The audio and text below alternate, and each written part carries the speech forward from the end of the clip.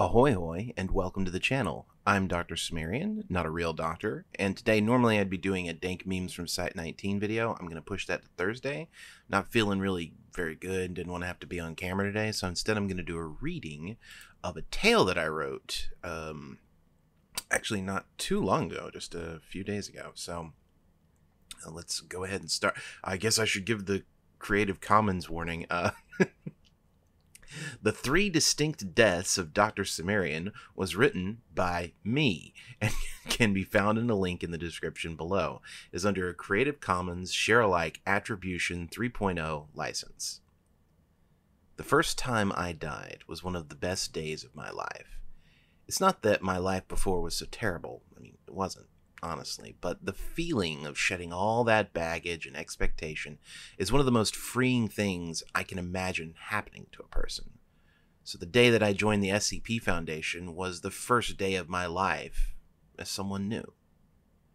See, Dr. Cimmerian wouldn't have the same hang-ups as the old me.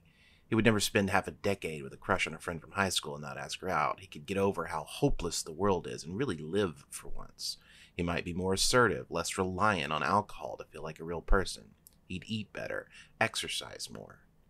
It only took like a week for that new car smell to wear off.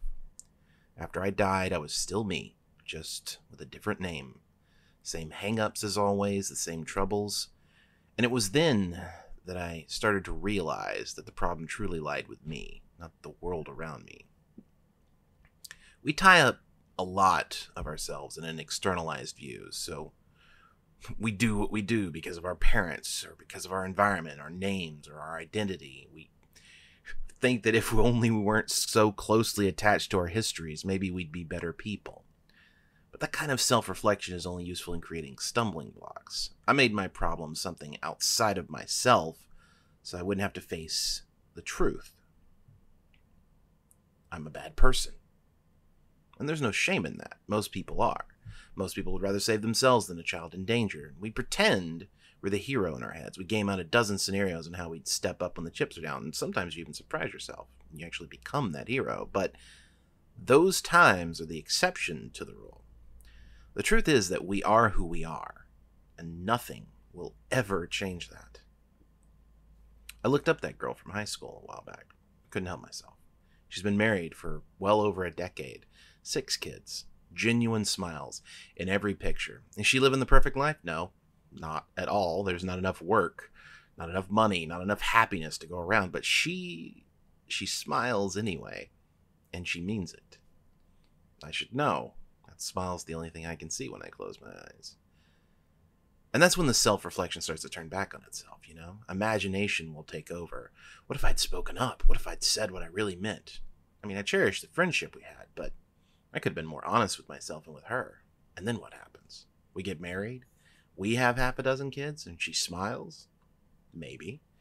And probably not, and less than she does now. I know what I am. I'm broken, and no amount of love and understanding is going to change that fact. Now, do I deserve happiness? Absolutely. But is it worth it at the expense of somebody else's? No, I don't think so. Not if you truly care about them. Sometimes the best thing you can do for someone is to just leave them alone. So I close the Facebook tab. I go back to work. I think about my first death when I left everything behind to become a new man. Then I wonder what my second death is going to be like after the amnestics, after the reconditioning, after adjusting to being a civilian again. Will I be whole? Will I still know myself? Will I still hurt the people around me? When I die a third time, they're lowering me into the ground. Will anyone care? Doesn't really matter. I've got work to do. Thank you very much for listening. If you enjoyed the video or the tale, go on over and read it on the SCP Wiki itself and uh, hit the subscribe button. I will definitely get the Dank Memes video out on Thursday. I just really wasn't feeling too uh, up to it today, and I, I didn't want to put out uh, I didn't want to put out a reaction video where I'm reacting to memes, and I'm just not myself and or energetic enough to truly react the way I I, uh, I think I should. So I thought I'd put it off. But yeah, hit the subscribe button and then hit the notification bell next to that so you're notified when I upload new videos.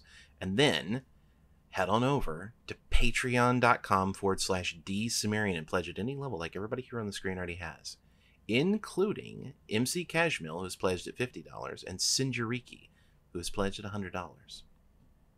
It is nice to know that I'm not alone out here, and I will see you all again on Thursday.